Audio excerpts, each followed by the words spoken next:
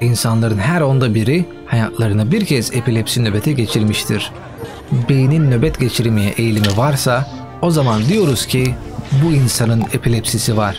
Bu insanların hemen hemen hepsi her gün bir ya da birçok ilaç alıyorlar. Antikonvülsiyonlar denilen.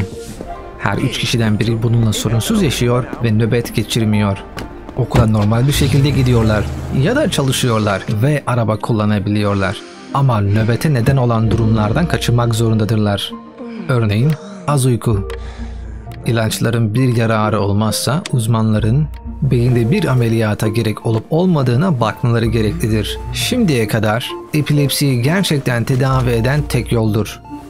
Uyarıcılar olarak beyin pilleri ile ve küçük elektriksel uyaranlarla nöbetler engellenebilir. Nadir durumlarda çok yağ içeren ve karbonhidratsız özel bir beslenme ile iyileşme sağlanabilir. Buna ketojenik diyet denilir. Burada doktor desteği gereklidir. Epilepsi nasıl tedavi edilirse edilsin, amaç her zaman bir hayat kurtarmaktır. Nöbetsiz ve yan etkisiz. Daha fazla bilgi için epi.ch Taksim TR